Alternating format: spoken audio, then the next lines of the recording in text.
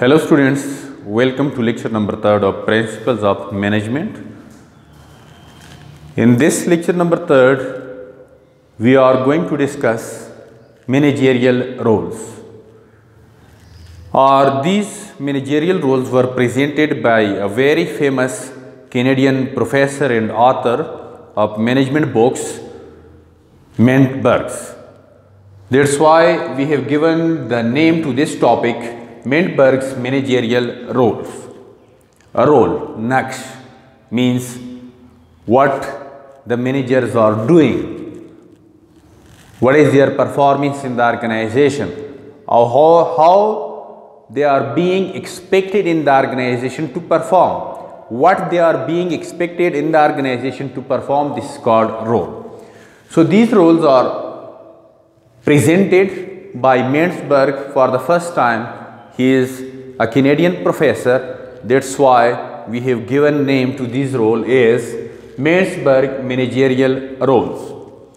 If we see here, majorly we have divided these roles into three categories. Category number one, interpersonal roles. Category number second, informational roles. Category number third, decisional roles. Further, each of these three roles we have divided into sub roles. Like interpersonal roles have got three sub roles.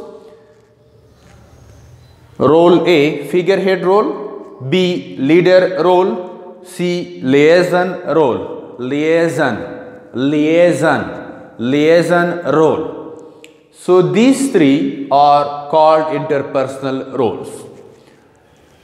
Number second, we have got informational roles. In informational roles, we have three sub informational roles. Number second, number A, monitor role. Number B, disseminator role. Number C, spokesperson role. These three are called informational roles. Number third category of roles, we have got decisional roles. In decisional roles, sub roles are A, entrepreneur role, entrepreneur B. Disturbance handler role. C. Resource allocator role. D. Negotiator role. So, if we see here, majorly we have got three managerial roles, but if we are taking them overall, so three interpersonal roles, three informational roles, and four decisional roles. So, totally they are becoming 10 managerial roles and these 10 managerial roles we have divided them into three major categories. Number 1 interpersonal roles. Why we have given why this title has been given to these roles interpersonal roles means in these roles managers are performing some duties among the people.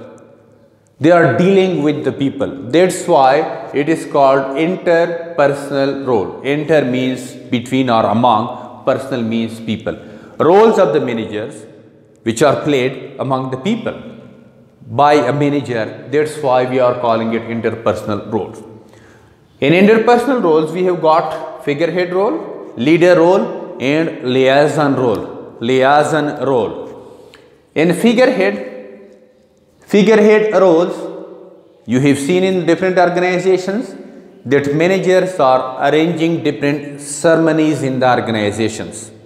برنامه های مختلف را پیش میبرد ceremonies so ceremonial duties ceremony Ceremony or ceremonies or ceremonial duties. So they are managing these different ceremonies, they are arranging these different ceremonies and they are leading those ceremonial programs. That's why it is called figurehead role. Let's suppose there is a seminar in one organization so obviously this seminar is arranged by the managers and totally controlled by the manager. So such type of role in the organization by manager is called figurehead role. Means in which they are leading a specific ceremony. They are arranging, they are managing and they are controlling a specific ceremony in the organization or specific barnama in organization. That's called figurehead role. So obviously ceremony is arranged by the people and for the people. They are managing this ceremony, this program for the people. That's why it is included in interpersonal roles. He is playing role for the people, among the people. Okay. Number second is leader role. Okay. Leader role means that the role performed by a manager to lead the people, to lead the employees, to encourage the employees and to motivate the employees. That's why we are calling it leader role. In management we have studied planning, organizing, leading and controlling. In leading what was there? Actually the manager was playing the leader role to, to motivate and encourage the employee so that they can work according to the requirements of the organization. So this role is called leader role. Number C, liaison role. Liaison role, this role means that the manager is making different contacts outside the unit or outside the company by giving information, by taking information, by sharing information. So, this role is called liaison role in which they are making contacts, irtibatat with different people, different organization outside the company or outside his own organization. This role is called liaison role. So, all these three roles are performed among the people by a manager. That's why we are calling it interpersonal roles. Second category of roles is informational roles. Informational roles, it is clear by its name. Informational roles. It means that the managers are either taking the information or giving the information in these three roles. Number A, monitor. Monitor means the managers are observing the employees, people of the organization or subordinates to check their performance, to check how they are doing their duties and responsibilities. This is called monitor. Monitoring means observing something for getting the information. This is called monitor means he is checking his employees to collect information about their performance. So in this role, there is monitoring, there is checking of the employees for collection of information. That's why this monitor role is included in informational role. Second informational role is disseminator role. Disseminator, disseminate, spread in this role, managers are spreading the information inside the organization. For example, you are, we have studied three levels of managers, lower level manager, middle level manager and top level manager. So let's suppose Asad is middle level manager. So Asad is getting an order from the top level manager.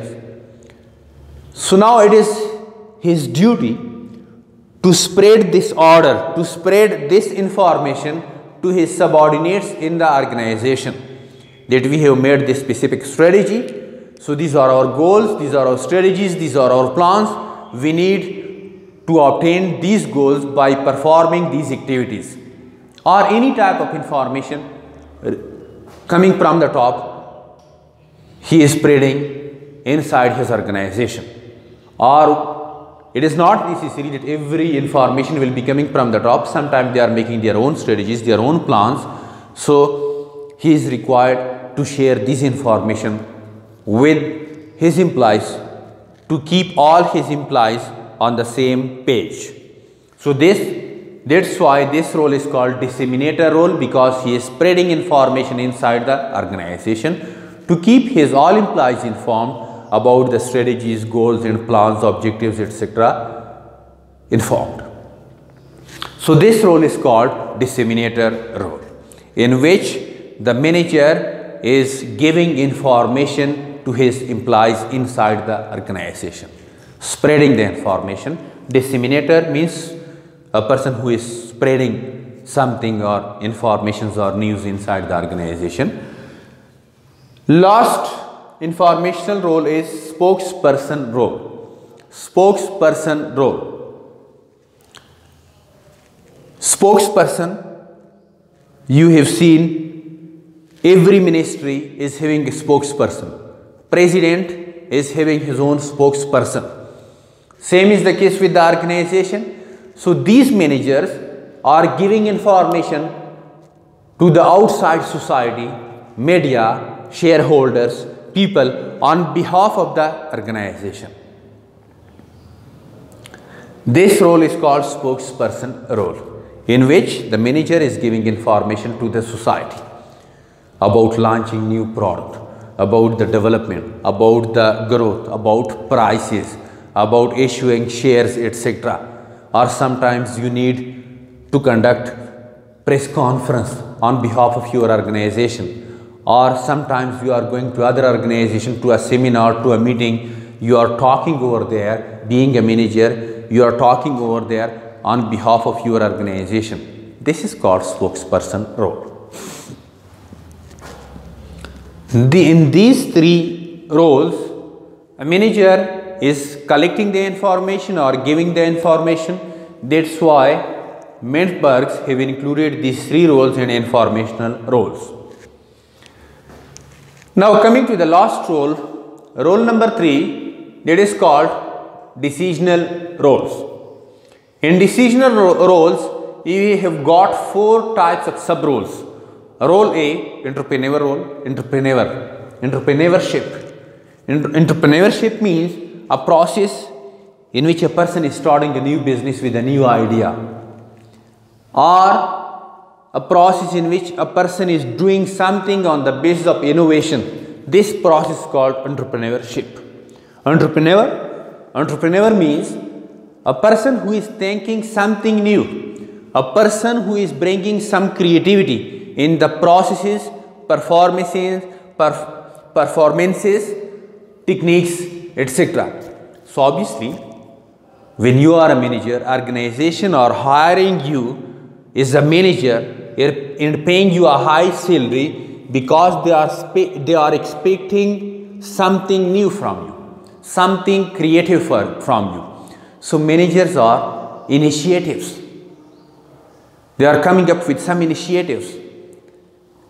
They are coming up with some creativity. They are thinking out of box so this role is called entrepreneur role. Entrepreneur role means when they are thinking some new things, when they are bringing some innovation in the organization, when they are bringing some creativity in the organization. Okay, you see, I'm giving you one example of mobiles. Every month or after a couple of months or semi-annually or quarterly, these larger mobile companies like Samsung or iPhone, they are coming up with a new version. So who are doing this innovation for launching a new version of the mobile? Obviously managers are doing it. Now this is called entrepreneur role. B. Disturbance handler role. Disturbance handler, handler role means that when there is some tension disturbance is there, tension is there, dispute is there, some problem is existing among the employees or with some other organization. So who is handling or controlling this problem or who is solving this problem? Obviously managers are solving this problem. So this is called disturbance handler role that they are solving their troubleshooting different problems of the organization. Whether this problem is inside the organization or with some other organization. So this role is called disturbance handler role. Next role is a resource allocator role. A resource allocator role. So obviously in the organization when some resource is needed, for example, your finance manager need computer, updated computer or a new version of software. So who is responsible for providing this new laptop or computer or new software? Managers are doing. I have told you in the start that majorly we have two types of resources, human resource and physical resource. So who are arranging these physical resources for the organization? Managers are arranging these physical resources for the organization. Physical resources, all the resources inside the organization except human being, they are called physical resources like building, cars, machinery, telephones, mobiles, computers, softwares, production plants, etc. So they are called physical resources. So they are now it is the duty and responsibility or it is the role of manager. Manager is playing this role for allocating allocating the resources in the organization. Next role is negotiator role. Negotiator, this word has been taken from the negotiation. Negotiation means making deals with different organization, different individuals, obviously signing different contracts with different suppliers, with customers, with other organization, making different deals with people outside, in outside environment, in outside society, maybe customer, maybe other organization, maybe governments, maybe financial institutions like banks, etc., maybe your suppliers, maybe your wholesalers and retailers etc. So they are dealing or signing contracts with different people. They are, they are finalizing different issues. They are finalizing different processes with the people. So this role is called negotiator role. Role. Most of the time our students are making uh, mistakes or they are confused between two terminologies role and a rule. A role means naksh. A rule means laiha, kanun. So I am not talking about rule, laiha or kanun. I am talking about role, naksh. So these were 10 different kinds of roles performed by managers which we have divided into three major categories by the name of Mintzberg managerial roles. These roles were presented by Mintzberg, a Canadian professor and writer. That's why we have given a specific name to these roles, Mintzberg's managerial roles. Thank you very much students. Have a very nice time. Be with me for the next class. Khuda Hafiz.